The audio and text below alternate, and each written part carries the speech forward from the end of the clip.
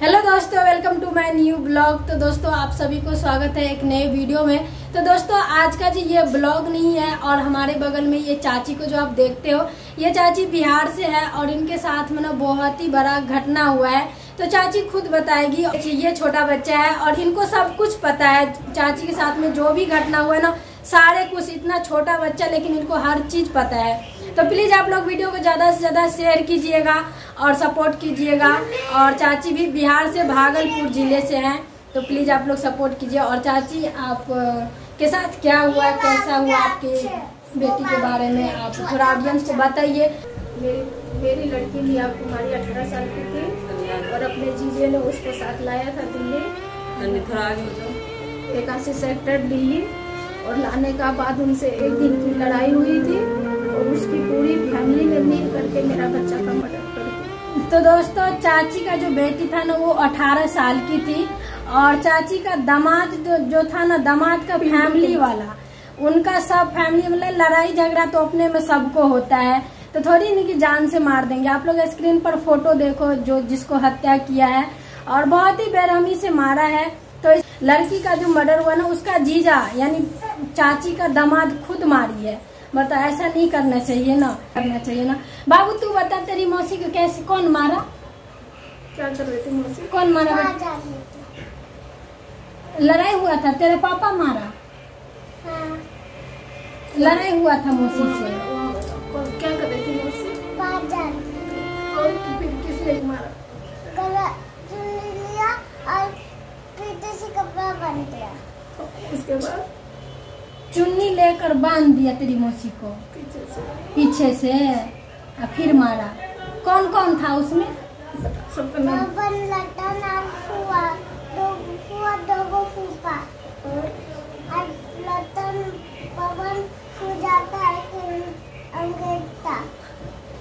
देखो दोस्तों। हाथ किसने काटा था बेटा?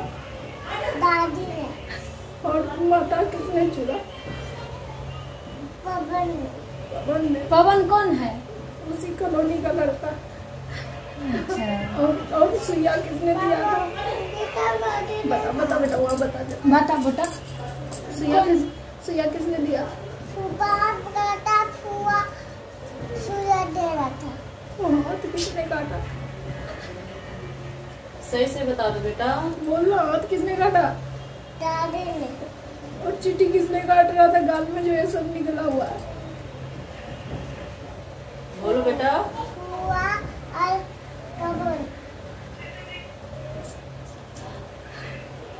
सो दोस्तों ये बच्चा सारा व्यायाम दे रही है।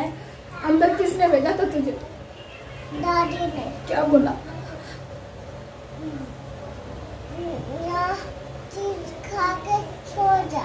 मस्ती के पास सो जा चीज़ खा के। और क्या बोला था गेट? गेट गेट खुला नहीं प्लीज़ आप लोग जितने भी लोग ये वीडियो देखते हो एक छोटी सी रिक्वेस्ट है आप सभी से कि इस वीडियो को शेयर कीजिए और चाची को इंसाफ दिलाइए। बस इनको इंसाफ की ज़रूरत है।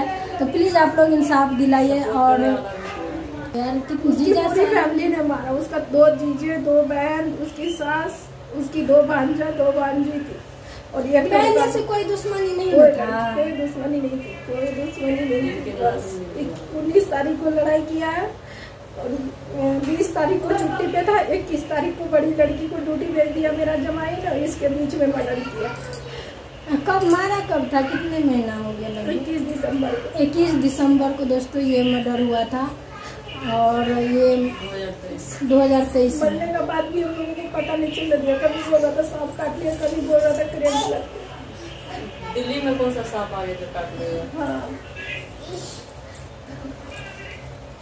ठीक और दिल्ली में मर्डर हुआ था लेकिन दिल्ली में तो ऐसा होता नहीं है लेकिन जब अपना आदमी जो मिल जाता है ना तो यार कहीं से किसी को कोई सपोर्ट ही नहीं मिलता है। सावित्री देवी राकेश कुमार सपोर्ट करवा के मरवाया। वो कहाँ का है? वो मेरी बड़ी ननद और भांजा। पिंटू आपका अपना खुद भांजा। अपना खुद बड़ी ननद। छह हज़ार पिंटू के पास पैसे पाता था नहीं दिया। मेरी बेटी के पास मांगा उसने देने से इनकार कर दिया। खाने के लिए तीन हज़ार महीना लिया अपना शादी से दो महीना रहा था तो। कर्जे वाला पैसे मांगा उसने मना किया इसलिए उसको मर्डर किया उन लोगों वो कहाँ से सीधा बोल दिया कि मुझे मम्मी का ऑपरेशन कराना है मैं नहीं दूँगी पैसे।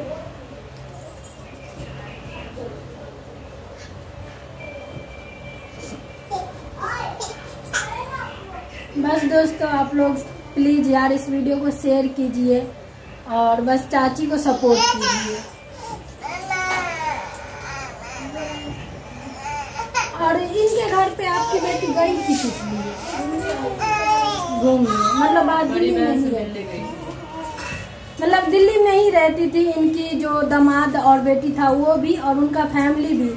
तो होता है ना कि चलो घूमते हैं तो कहीं पर बुलाते हैं तो लोग जाते हैं तो अपना आदमी था तो इसलिए आ गई अपने दीदी के पास और इनका दीदी का जो ससुराल के लोग सब है ना, वो सब मिलकर और हत्या कर दिया चाची बेटी को। जो आप स्क्रीन पर अभी फ़ोटो भी देखते हो, यही लड़की है। तो प्लीज़ आप लोग सपोर्ट कीजिए वीडियो को शेयर कीजिए और चाची को इंसाफ दिलाइए। और बस वैसे बिहार से तो बिहार से तो आप लोग सबको सपोर्ट करते हो तो एक बार चाची को भी आप लोग सपोर्ट कर दीजिए। बस यही मैं कहूँगी। चाची आप क्या कहना चाहोगे? बस मुझे मेरी बेटी को खाली इंसाफ मिल जाए कातिल को सजा मिले क्योंकि उसने पहले भी दो शादी कर रखे हैं। आपकी दामाद? हाँ मेरा दमाई ने दो शादी पहले भी कर रखे थे और उसने पहले भी तीन चार बार जेल जा चुके हैं मर्डर आपका दामाद का क्या नाम है? पिंटू कुमार। पिंटू कुमार नाम है इनका दामाद का। और उनका घर कहाँ है? मतलब बिहार में? भागलपुर में। भागलपुर में घर है पिंटू कुमार है इनका दामाद है चाची का। वही हत्या किया है। बहन सभी दो दो तीन तीन शादी करके रखी है। घर वाला सबको छोड़ छोड़ के मार मार के। तीसरे शादी में अरे वो अपना कुछ भी करे लेकिन किसी बेटी को नहीं मारना चाहिए। चार शादी करे पाँच करे उससे कोई मतलब नहीं बनता है लेकिन किसी को मारना नहीं चाहिए जान से। लड़ाई झगड़ा तो सबको होता है किसको नहीं होता है कहाँ? तो वो भेज देते होंगे माँ बाप और क्या तो? लड़ाई जब भी को भी बोलता है तलाक नमा भेज देंगे क्या उखाड़ लेगी मेरा ऐसे बोलती पैसे वाला है ना कोई यार पैसे नहीं इसलिए। है। कुछ भी नहीं है। मन का बड़ा हुआ या मकान मालिक उसको सपोर्ट कर रहा है। उसके पास कुछ भी नहीं है। एक उस मकान मालिक सपोर्ट कर रहा है कि मेरा मकान में कुछ ना हो। अगले साल भी उस मकान में अठारह साल की लड़की का मर्डर किया उसकी बड़की बहन पिंटू कुमार का बड़ी बहन।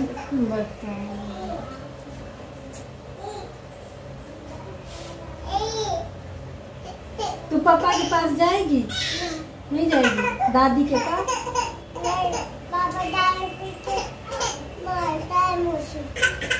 देखो। पास रहोगी?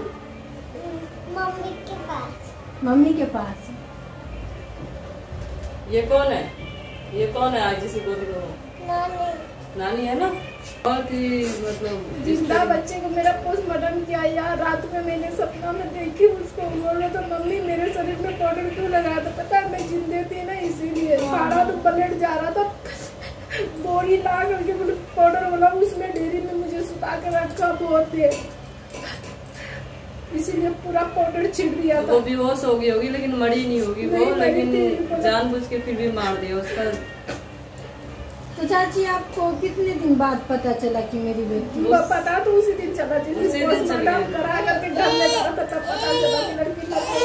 नहीं तो थोड़ी मतलब माँ बाप का इसमें कोई रोल नहीं है। किसी मतलब चीज़ का नहीं पता है ये फ़ोटो तक नहीं उन्होंने दिया। मरा हुआ बच्चे को मुँह तक नहीं दिखाया उसने। वो खुद ही सब चीज़ किया सब कुछ किया अपने अंदर में। जो लोग मर्डर किया वही लोग सब कुछ करवाया पोस्टमार्टम उस सब कुछ करा लिया। हम लोगों से कोई पता नहीं।